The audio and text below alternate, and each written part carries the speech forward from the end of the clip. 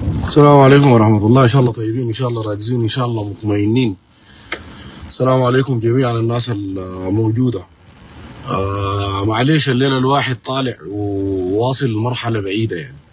آه في تساؤلات كثيرة وقبل شوية رفعت بوست آه والناس قالت لي يا أخي أحذف أحذف أحذف أحذف. قلت لهم أنا حأحذف البوست لكن أنا حأطلع أتكلم عن الحاجة الحاصلة دي. طيب آه متفقين على حاجة. قولت بسم الله الرحمن الرحيم. كويس؟ عشان الناس تكون فاهمة والناس ما تمشي آه مراحل بعيدة. نحن كلنا جيش. دي قولت بسم الله الرحمن الرحيم. لكن السؤال اللي بيطرح نفسه أنا جيش وإنت جيش وفلان جيش تمام؟ وده جيش. كلنا جيش صح؟ اللي قاعد يحصل ده شنو؟ جينا تكلمنا عن التفاتيش. قلنا التفاتيش الموجودة داخل أم درمان لازم تتراجع. جينا قلنا التفاتيش دي قاعد تمرر العربات وقاعد تمرر ال ال الأسلحة وقاعد تمرر غيره من غير ما تتفتش العربات. يعني شنو جايب لك تصديق بتاع ترحيل عفش يعني؟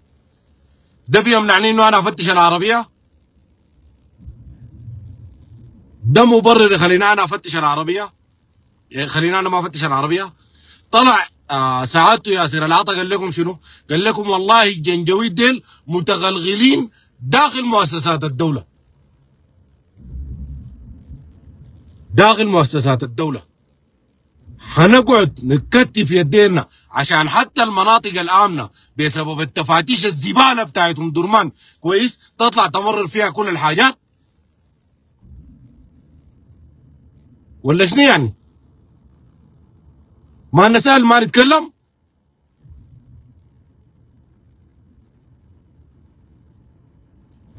كل التفاتيش بتاعتهم درمان دايرة مراجعة. كل التفاتيش بتاعتهم درمان قاعد تمرق الحاجات من غير ما تراجعها. العربات بتدور من غير ما تتراجع. قلنا الكلام ده مليون مرة.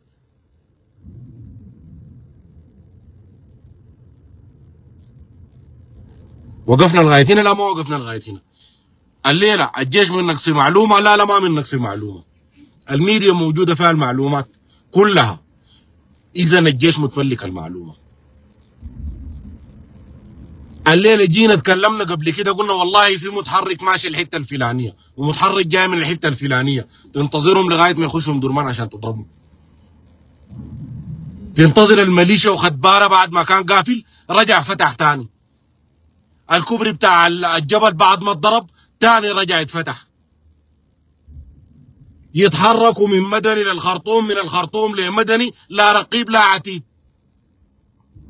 أنا محاصرهم في مدني محاصرهم في مدني ليك أربع شهور. ما دام أنت محاصر النازل في مدني ليك أربع شهور. ما شفنا تقدم. قاعدين نعيد في في في في جيش. قاعدين نعيد في قوات خاصة. قاعدين نعيد في غيره. يا أخي أنا ممكن أصبر معاك. ممكن اقف معاك. لكن ما ممكن أشوف الغلط بعيوني وأسكت. أنت بعد شوية حتفقد الشعب ده. الشعب اللي لسه واقف معاك ده بطريقتك اللي بتعمل فيها دي حتفقده. حيقلب ضدك.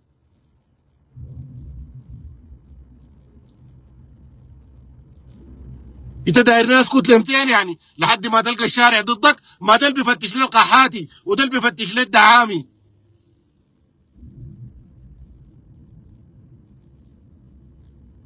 دايرين الناس تقف ضدكم يعني؟ دايرين الشارع يقلب ضدكم؟ بالتصرفات الهوجاء قلنا ارتكازات ام درمان دايرة معالجة. الناس كلها بتقول لك ارتكازات ام درمان. قاعد تمرر العربات من غير ما تتفتش. اتكلمنا الكلام ده مليون مرة والكلام ده واصلكم عندكم. قلنا راجعوا ارتكازات ام درمان.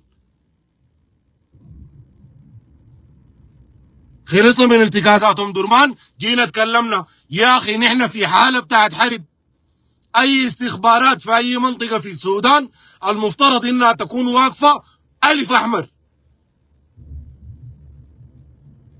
مسيرة دي يقول لك المسيرة طارت من صالحة. طارت من صالحة وين يعني؟ مشت من صالحه لغايه الشندي دي؟ مسيرة ولا طيارة هليكوبتر هي؟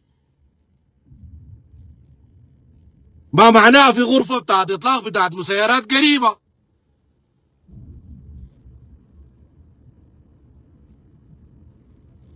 جاته مسيرة بتطلع ساعتين عشان تصل آه اسمه شنو ده؟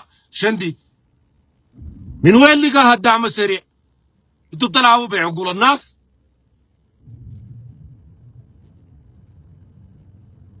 كل الولايات محتاجة شغل. الكلام ده قلنا وده سقط مدني. ولو استمرينا بطريقتنا دي حتسقط مكان تاني. انت عارف الليلة الدعم السريع الموقف وانه سقط مكان تاني شنو؟ ولا ما عارف؟ ما عشان انت مثبته لا. عشان ما عنده قوة كافية تخليه يمشي يسيطر على مدينة تانية.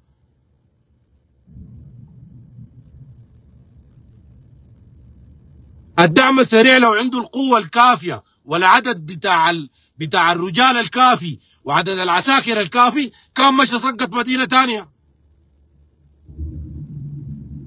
تخليه قاعد في في في في مدني الآن أربع شهور تمام؟ نص الناس الموجودة في مدني بقت دعامة.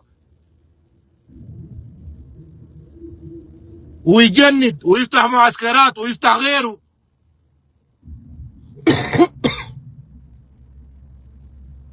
ودارين الناس تسكت وما الناس تتكلم. لمتين؟ لمتين أنا هسكت ليك يعني. ما أنا معاك. ما في مشكلة. لكن ما أقول لك أنت غلط؟ لا لا غلط.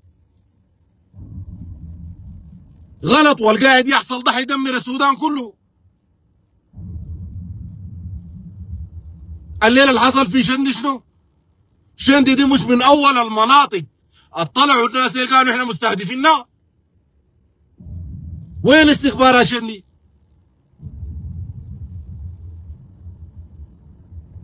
الليلة لما أنا أقول لك أنا جاي مستهدفك في المنطقة الفلانية أنت خاطر راسك نايم لشنو تاني؟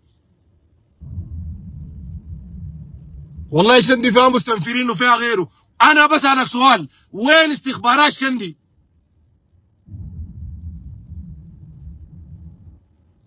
وين استخبارات شندي؟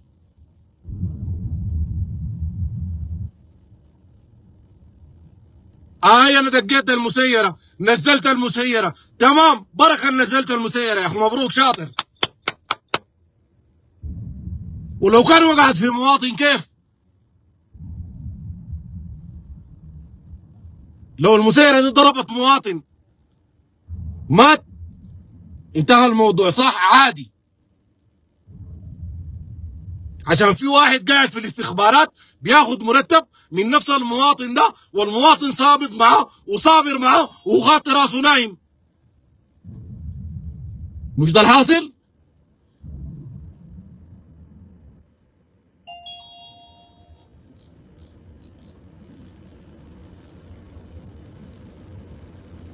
يجوا يتكلموا معاكم تقول لك والله لا لا والله يا أخي ما تتكلم الآن. أتكلم لك 200 أسمع كلامي ده أنا الحار ده تمام؟ عشان المواطن ده ما يقف ضدك. انت قوتك كلها في المواطن ده.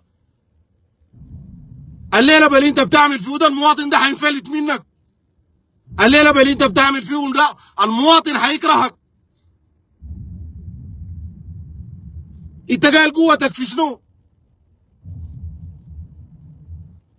ما قوتك في المواطن ده؟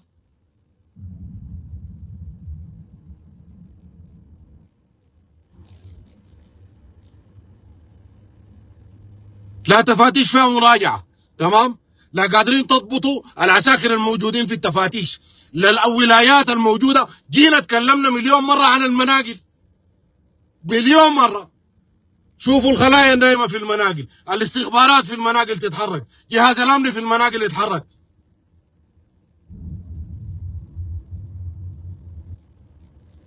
ولا في زول شغال بالكلام ولا كأنه في زول بيتكلم. يقول لك والله الجيش ما عنده معلومة. لا لا الجيش عنده معلومة. لأنه إذا المعلومة وصلت المواطن والمعلومة حقيقية والجيش ما عنده المعلومة دي تبقى مصيبة أكبر.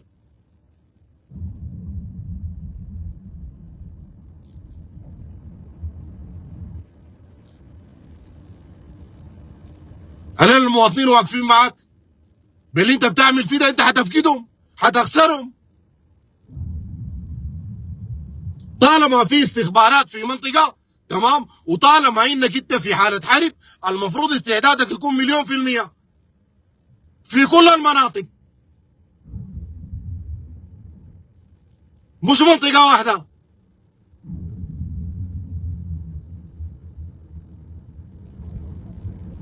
بقول لك والله أنا ماشي شندي من بداية الحرب. عملت شنو أنت الآن؟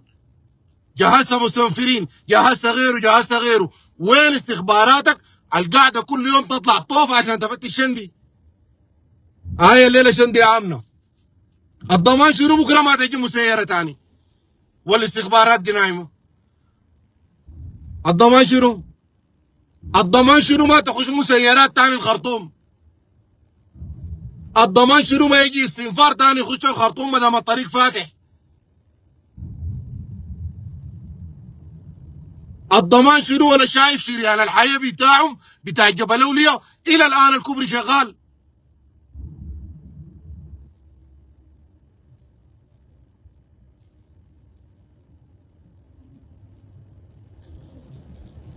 وين ضمان الحاجات دي؟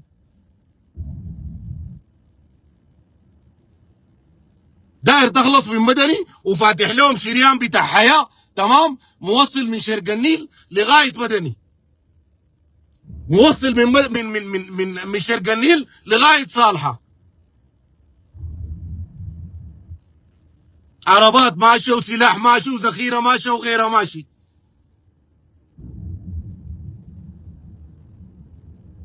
كلمنا استخبارات النيل الأبيض يشتغلوا استخبارات ما بعرف وين يشتغلوا استخبارات وين يشتغلوا ده استهتار ده آه يعني أنا ما فاهم ده شنو. ما قادر افهم ده شنو أنا صراحة يعني. أنت تستهتر بروح المواطن آه ده آه ما شايف الحالة اللي وصل لها آه الفهم شنو يعني؟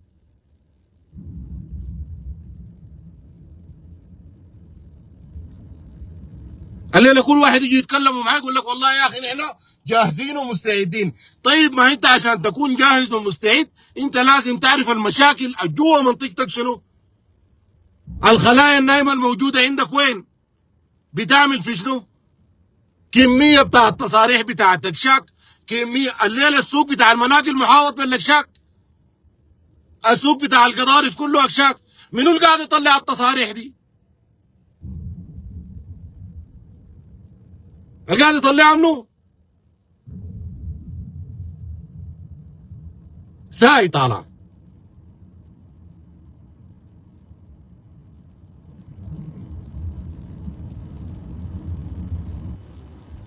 ولا فالحين لنا في قصص تانية وفاتحين لنا في شغل تاني. حتى نحن كلامنا اللي بنقوله ده تمام؟ الليلة بيحاربونا فيه. فعلوا دور الإعلام. فعلوا غيره. قبضتوا خلية صح في عطبره محاسبة ميدانية. محاكم طوارئ. عشان اللي بيشوف بعينه تاني ما حيكررها محاكمات ميدانية مباشر.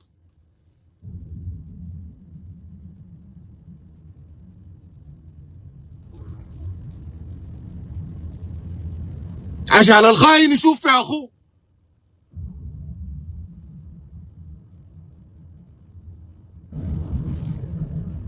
لا أنا قبضت خليه وداير أعمل لها محكمة شنو تاني؟ ده ما زول خاين لمواطن خاين لوطنه طوالي يتملي نار قدام قدام العالم كله عشان غيره تاني يتوب.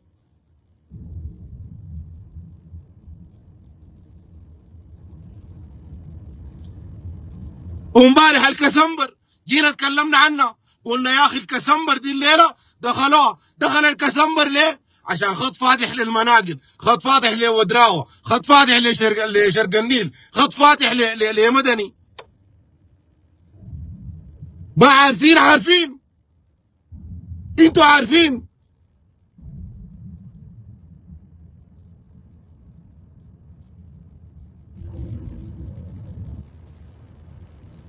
اعمل اجراء تردع به الخونة ديل.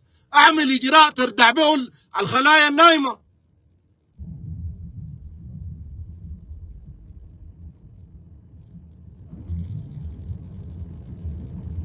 الليلة شندي أمان لكن ل 200 آية الليلة بور السودان أمان ل 200 لغاية ما تسلل لها خلايا جوا لغاية ما يرتبوا نفسهم لغاية ما يجندوا ناس ولا 200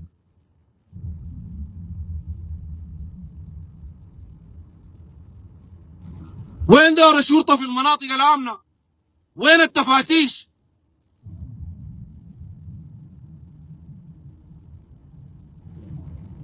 ليه ما يكون كل 200 300 متر في تفتيش. ليه لا. انت ما في حالة حرب.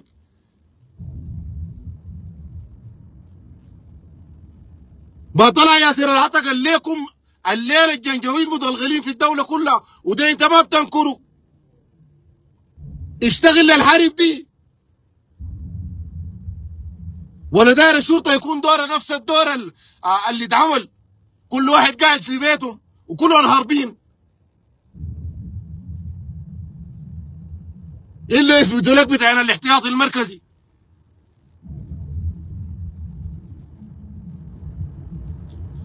كل 200 متر كل 300 متر لازم يكون في تفتيش. إنت في حالة حرب. أفهم الحاجة دي يا أخ. إحنا بنتكلم ما دارين منطقة ثانية تسقط. ما دارين موقع ثاني يسقط. دايرين نحافظ على الحاجات الموجودة. مش إحنا نقعد كل يوم في دي ضربوها ودي عملوا لها ودي سووا لها.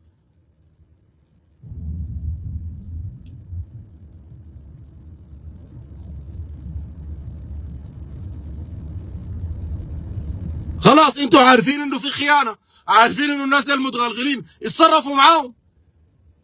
الناس الموجودة برا اتكلمنا مليون مرة. فعلوا القوانين بتاعت قبض الناس البرا دي. ما في زول داير يشتغل. عند الليلة تمام؟ خالد سلك والزفت الثاني اللي اسمه حمدوك طلعوا مشوا هناك قال لك والله الاغاثات عشان تخش السودان تخش بشنو؟ بقوة دولية. أنتوا بتلعبوا.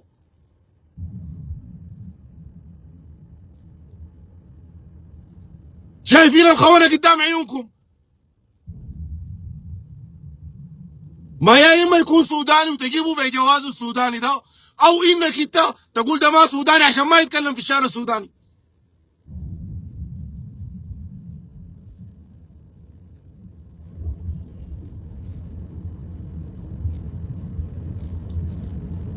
يقول لك ما أتكلم في الحاجة الفلانية. ما أتكلم. يا زول بتكلم.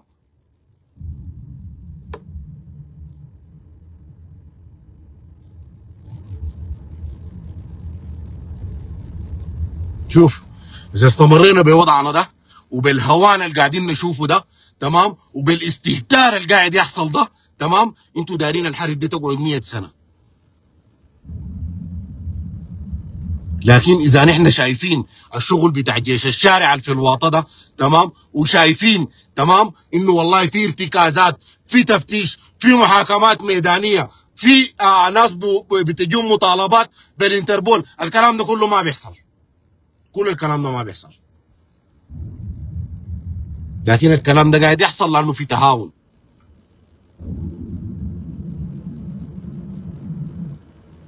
يجوا يطلعوا يتكلموا لك عن الأخلاق وعن الدين وعن الما بعرف شنو وعن الحقونا وعن إحنا والمواطن بيموت. إنتوا قاعدين تدامروا على المواطن يا قحادة.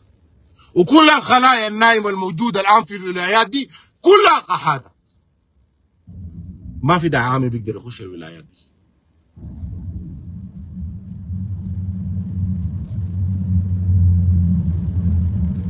نجي نتكلم نجي نتكلم أول ما يتكلم معك يقول لك والله يا أخي البرهان برهان شنو يا زول؟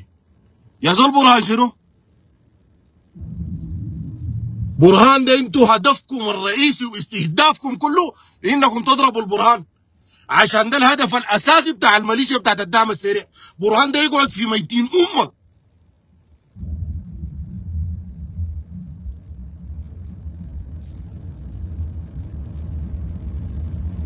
اشتغلوا مع التهب التهب ديل هتضيعوا البلد تمام؟ وهسه هيضيعوها تاني. اشتغلوا مع التهب برهان خليه. اشتغل مع ناس الارتكازات اشتغل مع الناس اللي بتطلع في الجوازات. شفتوا الجواز كلكم قبل كم يوم؟ شفتوا ولا ما شفتوا؟ هنداك امشي اتكلم معاهم. قول لهم الجواز ده تطلعوا منه جيب اطلع الجواز ده املا نار قدام الناس. جواز جديد بعد الحرب. جيبوا املا نار قدام الناس. جيب المكتب كله املا نار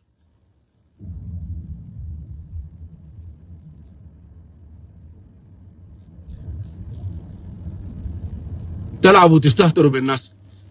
ولما نتكلم يقول لك والله يا أخي ديل ما عارفين حاجة. ديل ما عارفين حاجة. رسلنا ليكم وعارفين والميديا أنتوا عارفينها وبقت أقوى سلاح الآن شغال بالميليشيا. منتظر شنو انت؟ تلفزيون السودان ما قدرت تفعله مفترض يكون عندك تغطية للأحداث 24 ساعة. مراسل في أي موقع. وين الكلام ده؟ ما في.